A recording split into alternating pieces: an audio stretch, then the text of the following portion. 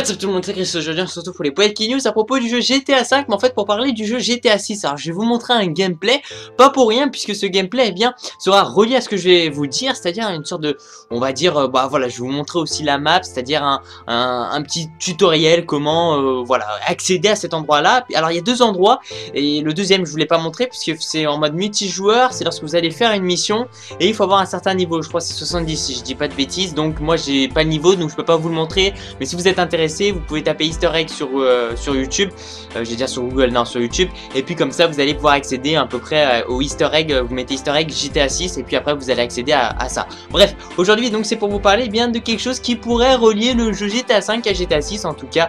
là ce que je vais vous montrer sur l'écran, il y a un certain endroit, un bâtiment à laquelle on peut voir bizarrement un logo euh, avec un 6 dessus. Alors, c'est vrai qu'il y en a qui pourront dire, ouais, non, mais de toute façon, voilà, ils ont juste mis un 6. Alors, ils auraient pu mettre par exemple un autre chiffre, ça c'est vrai.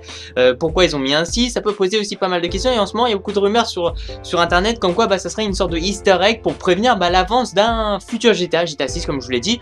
Déjà, on, sait qu'il y en a un qui va sortir, c'était confirmé par Rockstar, comme je vous l'ai dit, euh, soit en fin d'année 2016 ou en début d'année 2017, donc dans pas très longtemps, et que dans un an et demi, deux ans, on a déjà un trailer qui va sortir et que quelque part on commence à voir des petites choses. Alors le easter egg, il y en a deux, enfin il y a celui-ci, alors c'est un mi-easter egg, hein, c'est pas vraiment un easter egg, mais le deuxième il est plutôt intéressant, donc euh, si vous recherchez sur le net tout ça, et eh bien en fait c'est vous faites une mission dans le mode euh, multijoueur, une mission spécifique, et lorsque vous allez euh, à un certain endroit dans la base militaire, vous allez voir une sorte de de, maquette en fait où dessus encore le 6 qui, qui t'apparaît euh, ce qui est très bizarre je trouve honnêtement. Il apparaît à cet endroit là et puis lorsque vous ne faites pas la mission elle est plus là. Euh, cette petite maquette en fait qui est relevée bien sûr euh, une sorte de petite borne hein, qui sort du sol. Donc c'est vrai que quelque part on peut se dire bah, qu'est-ce qui se passe? Pourquoi il y a, y a, ce fameux 6 qui arrive? Si on regarde en plus en détail ce qu'il y a autour et puis surtout qu'est-ce qu'il y a dessus ce qu'on peut remarquer c'est qu'il y a une chaîne autour du 6 donc qui pourrait nous dire que quelque part bah, pour l'instant vous ne savez rien dessus, euh, c'est censuré, c'est fermé, on, peut pas savoir ce qu'il va avoir là-dedans.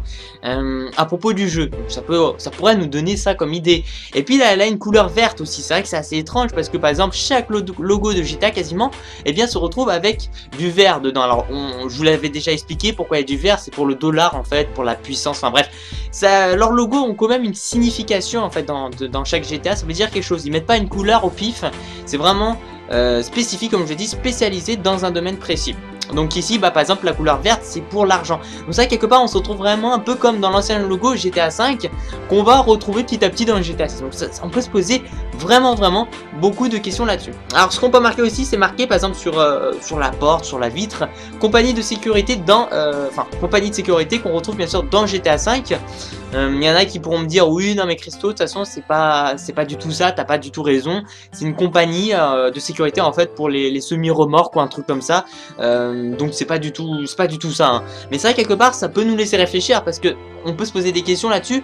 C'est bizarre. Il y a un 6, puis t'as une chaîne, puis c'est de la couleur verte comme un, comme un logo en fait. Donc on pourrait vraiment se poser des questions. Euh, qu'est-ce qui va se passer? Est-ce qu'il y aura des eggs supplémentaires? Est-ce qu'ils vont rajouter quelque chose? Pourquoi il y a ce bâtiment avec euh, ce genre de choses là C'est vrai que franchement moi ça m'intrigue. Alors aussi dites-moi si vous en pensez tout ça dans la barre des commentaires. Bon c'est une petite vidéo bonus, hein, on est d'accord? Mais j'avais vu ça et puis je me suis dit, hmm, c'est vrai que c'est assez intéressant. Et bah ça peut nous laisser poser pas mal de questions. Mais bon, de toute façon, on n'apprend rien de plus. Pourquoi? Parce qu'on sait très bien que le jeu va sortir euh, en fin d'année 2016-2017. Enfin, en début d'année 2017, c'est ce que je vous ai dit. Bon, quelque part, c'est pas très intéressant. Mais comme quoi, on, voit des petites choses dans le jeu GTA 5 qui pourraient... Bah, on avance, on avance petit à petit. Après, euh, est-ce qu'il y aura plus de choses? Ça, je sais pas. Mais c'est vrai que ça c'est bizarre et puis on a pris beaucoup de temps aussi à voir euh, ce genre de choses. Hum, donc je sais pas du tout euh, ce qu'on peut en penser là-dessus. En tout cas, bon, c'est une petite avance. Un petit clin d'œil que nous fait Rockstar à mon avis. Et puis de toute façon, il y aura bien sûr un GTA 6. Voilà. Toute façon, tous les gens, merci de mettre un petit j'aime à la vidéo. Surtout de me suivre sur ma page Facebook personnelle. Et euh, de me poser aussi vos questions sur Ask. Je vais essayer d'être un peu plus présent. Euh, comme ça, je pourrais vous répondre à, à vos questions. Et puis je vous dis à la prochaine. Ciao, ciao. Peace out.